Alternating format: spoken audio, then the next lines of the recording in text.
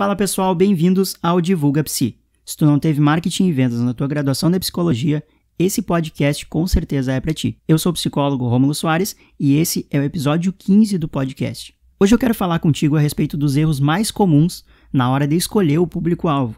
Eu vou te mostrar assim o que, que é público-alvo, o que, que a galera pensa que é o público-alvo e o que, que pensar dessa forma pode acarretar aí no teu negócio. Então, bora pro conteúdo. Seguinte, minha gente, o que, que é público-alvo, como que eu defino aqui no meu negócio, como que eu passo para os meus clientes, o que, que é esse tal de público-alvo, afinal. Seguinte, público-alvo para mim não precisa ser um, um conceito mega rebuscado, cheio de termos técnicos. Para mim, nada mais é que um grupo para quem tu escolheu falar.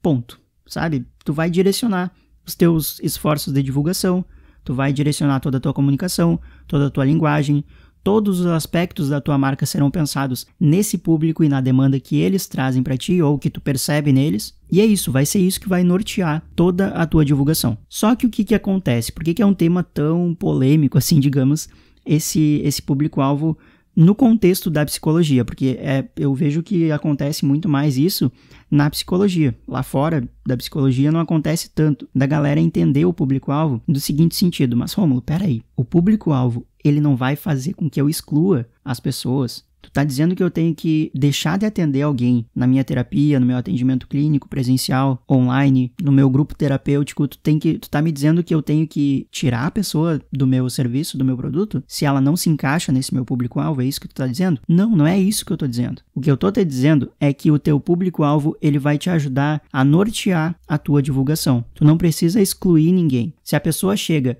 no teu atendimento online, presencial, no teu grupo roda de conversa, enfim, e tu te sente capacitado e, e pronto para atender essa pessoa, a demanda que ela tá te trazendo, tu pode atender. E se tu acha que tu não tá preparado, enfim, por qualquer motivo que for, tu faz os procedimentos éticos e encaminha para um outro colega. É simples assim. Tu não precisa excluir ninguém porque a pessoa não está no teu público-alvo. E isso é uma coisa que a galera pensa muito. Pelo menos é o que eu vejo chegar lá no meu Instagram, ou na minha mentoria, ou ainda a galera no treinamento. E assim, ó, tá tudo bem entender dessa forma, porque de fato é um, é um termo novo para muita gente. É que nem eu sempre falo para vocês, a maioria dos cursos de graduação de psicologia do país não oferecem marketing e vendas durante a graduação. Como é que a gente espera que o psicólogo saia da graduação sabendo se divulgar, né? Então, assim, ó, por isso que eu nunca vou culpar um colega porque, ah, tu não sabe tal coisa. Não, é, é justamente por isso que eu tô aqui trabalhando esse sentido de conteúdo para ti. Quer saber de uma coisa? O que eu realmente acho que acontece quando o psicólogo vai procurar na internet por marketing digital, por captar clientes online, o que aparece são conteúdos de marketing no geral tá? Não são voltados necessariamente para psicólogos. E isso, por si só, já é um certo perigo para nós, que a gente sabe que a gente tem nosso código da ética e muitos dos conteúdos que não forem baseados nesse nosso código da ética das duas, uma, ou a gente não vai conseguir utilizar as dicas porque elas são antiéticas, se a gente colocar num contexto de psicologia, ou a gente não vai jamais nem entender porque não fecha com, enfim, o que a gente faz dentro da psicologia. Então, preza por um conteúdo de marketing que seja voltado para nós psicólogos. E de preferência criado por um colega psicólogo também.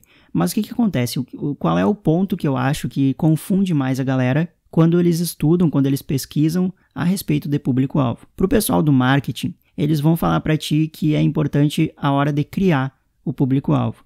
E é aí que a galera da psicologia começa a se confundir, porque o pessoal do marketing vai te dizer, bom, tu tem que entender a faixa etária do teu público, tu tem que entender onde eles moram, tu tem que entender quanto que eles ganham. E assim, dados demográficos, eu não vou dizer para ti que não são importantes. Podem ser importantes sim, na verdade eles são importantes. Mas na psicologia, quando tu tá tratando de público-alvo dentro da psicologia, nem ferrando que dados demográficos serão suficientes para te entender o teu público-alvo e entender o que, que tu deve fazer na tua divulgação.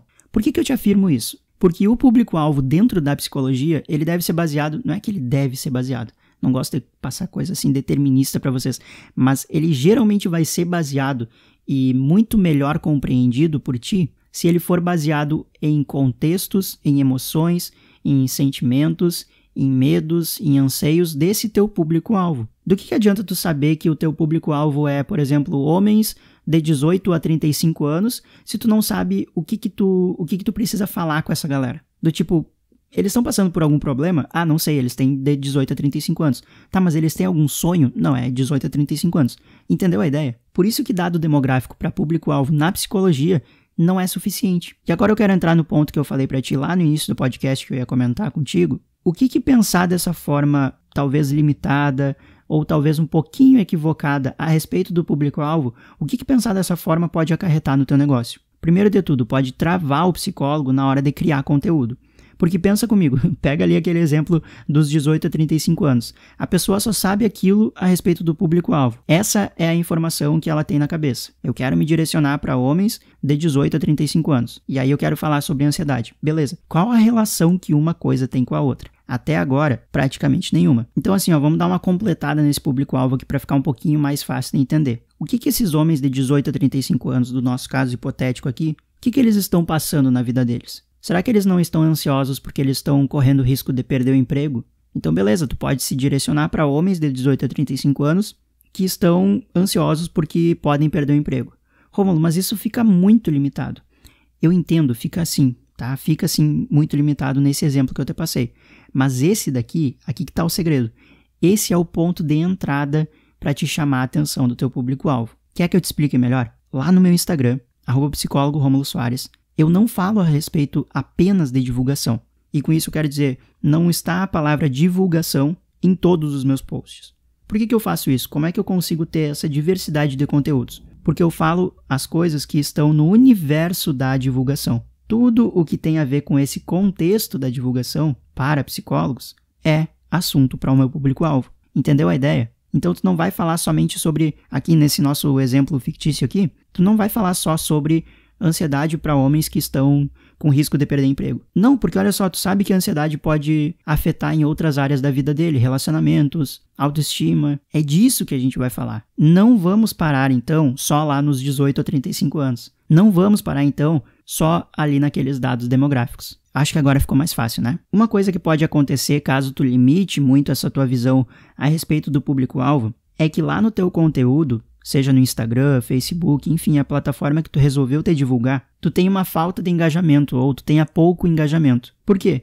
Porque tu pode não estar divulgando aquilo que o público quer saber. Teu conteúdo pode ser excelente, mas se ele não for do interesse do público que está te seguindo, o público não tem por que engajar. Consegue entender a ideia? Então é uma das consequências. Tu pode ter um, um, baixíssimo engajamento, quase nada, mesmo quando teu conteúdo é bom, mesmo quando tu posta com frequência, porque o público-alvo na tua cabeça pode estar assim do tipo 18 a 35 anos e tu não mergulhou muito nas dores do teu público, tu não pensou muito no contexto do teu público-alvo. E se é o que está acontecendo aí no teu negócio, tá tudo bem, relaxa. Agora tu já sabe o que, que tu precisa fazer.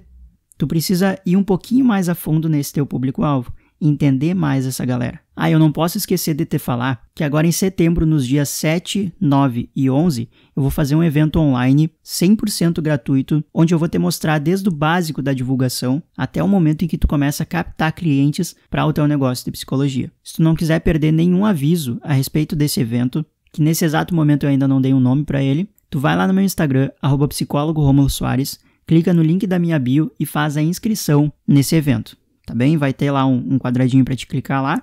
Tu coloca o teu e-mail, coloca o teu nome e de bônus eu vou te enviar conteúdos pelo teu e-mail até o momento em que chegar esse evento online. Tu vai ter acesso a um conteúdo que só o pessoal que está no treinamento tem acesso. Claro, vai ser por tempo limitado esse acesso ao conteúdo, mas já é alguma coisa, né? Então vai lá no meu Instagram, arroba psicólogo Romulo Soares, clica no link da minha bio e faz a tua pré-inscrição. Vai por mim, tu não vai querer perder esse evento. E eu queria concluir esse episódio aqui te dizendo que poucos clientes novos podem chegar no teu negócio se tu entende o público-alvo de maneira muito fechadinha, muito limitada e não procura explorar tanto os contextos, as emoções, os sentimentos dentro desse teu público-alvo. Porque pensa comigo, é uma consequência desse conteúdo que não conecta com ninguém. Tu, tu consegue visualizar isso na tua cabeça? Do tipo, tu faz um monte de postagens todos os dias postando, faz stories, faz enquete, faz post no feed, vídeo, foto e, e não conecta, sabe? Não, não, não é aquilo que a galera quer ver. Então, não conseguir clientes através das redes sociais pode sim muito bem ser um reflexo de um público-alvo que ainda não está bem estruturadinho. Ele pode estar tá muito aberto, ele, ele pode não estar muito direcionado, o foco desse público-alvo pode estar tá em um ponto em que não está ajudando muito bem no teu negócio. Então, assim, ó, com esse episódio de hoje, se tu tá sentindo alguma dessas consequências aqui que eu falei para ti agora, olha novamente para o teu público-alvo e vê o que está acontecendo. Como é que tu montou esse público-alvo? Com base em quê? Quais são os critérios para a pessoa estar no teu público-alvo e quais são os critérios para ela não estar no teu público-alvo? Isso é muito importante. Se tu precisar de alguma ajuda, me chama lá no, no Instagram, me manda uma mensagem, eu estou com dificuldade no meu público-alvo, que eu vou querer te ajudar com isso, porque é muito, muito, muito mesmo, assim, ó, fundamental no nosso negócio de psicologia que a gente tem um público-alvo bem definido, bem mapeado, bem estruturado e, assim, eu, eu não vejo, sinceramente, eu não vejo uma forma de funcionar um negócio se a gente minimamente não sabe para quem a gente quer falar, beleza? Eu vou ficando por aqui nesse episódio. Eu espero assim, ó, de verdade que esse episódio tenha te ajudado. Eu gostei bastante desse conteúdo. E se te ajudou, se tu gostou, compartilha esse podcast com os teus colegas, fala do podcast para os teus colegas, convida eles para acompanhar o nosso conteúdo por aqui também. Eles com certeza vão gostar e vão te agradecer por essa recomendação. Mais uma vez, eu sou o psicólogo Romulo Soares e esse é o podcast Divulga Psi. A gente se encontra no próximo episódio. Até a semana que vem e falou!